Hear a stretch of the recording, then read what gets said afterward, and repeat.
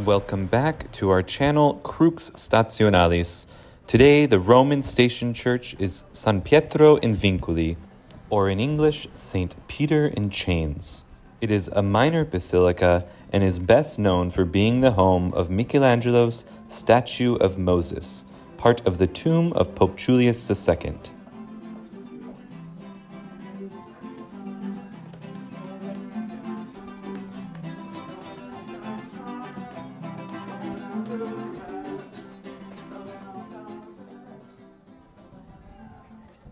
Come and explore today's Roman Station Church with me.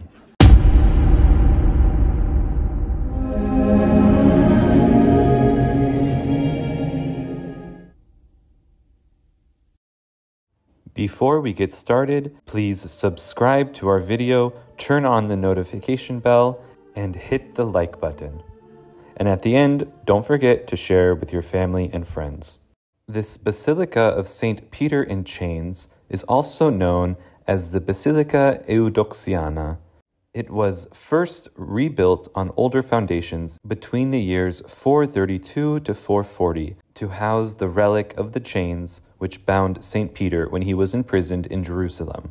The episode called The Liberation of St. Peter, recounted in Acts chapter 12. We read from Acts 12. Herod proceeded to arrest Peter also it was the feast of unleavened bread. He had taken him into custody and put in prison under the guard of four squads of four soldiers each. He intended to bring him before the people after Passover. Peter thus was being kept in prison, but prayer by the church was fervently being made to God on his behalf. On the very night before Herod was to bring him to trial, Peter, secured by double chains, was sleeping between two soldiers, while outside the door guards kept watch on the prison. Suddenly, the angel of the Lord stood by him, and a light shone in his cell. He tapped Peter on the side and awakened him, saying, Get up quickly. The chains fell from his wrist. The angel said to him, Put on your belt and your sandals. He did so. Then he said to him, Put on your cloak and follow me. So he followed him out, not realizing that what was happening through the angel was real. He thought he was seeing a vision. They passed the first guard, then the second, and came to the iron gate leading out to the city, which opened for them by itself.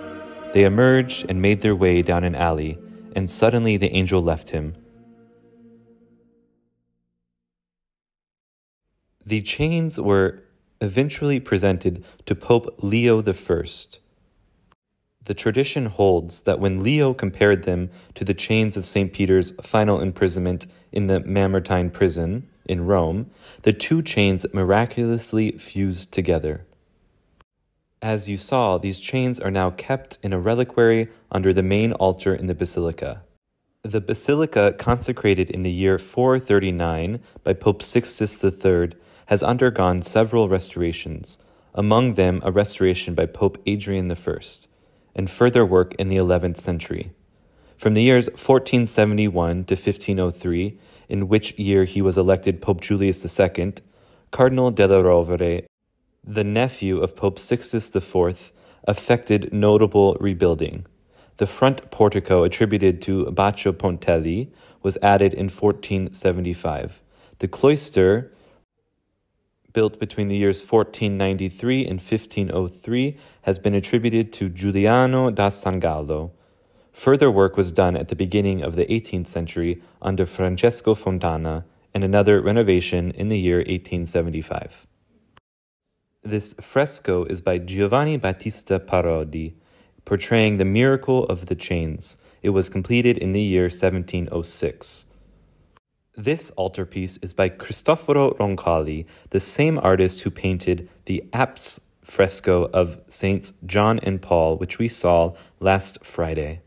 This altar holds a mosaic of Saint Sebastian from the 7th century. This mosaic is related to an outbreak of plague in Pavia in northern Italy. The relics of Saint Sebastian were taken there in order to stop an outbreak of plague in the year 680, since Sebastian was believed to have been born in the province of Lombardia, and an altar was constructed for his relics at San Pietro in Vincoli in Pavia. As a symbol of the subsequently reinforced relationship between Pavia and Rome, An identical altar to Saint Sebastian was built at the Roman church of the same name, resulting in a parallel cult for the saint in both regions.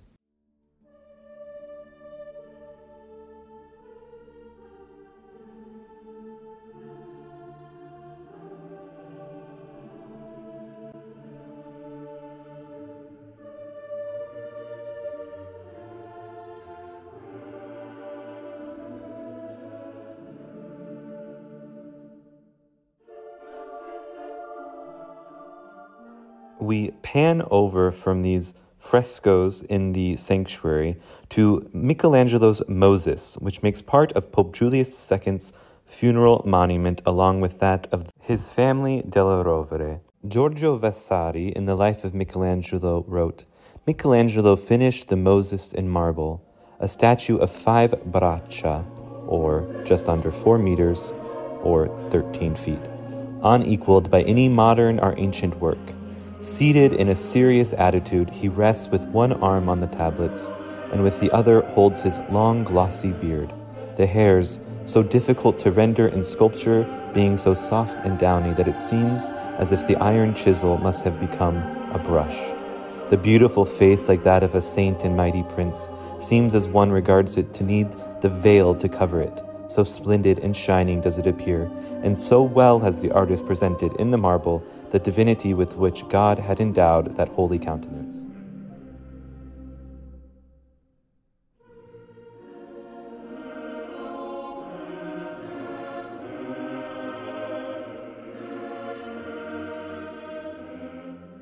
Thank you for joining us today at the Roman Station Church of San Pietro in Vincoli. We'll see you tomorrow.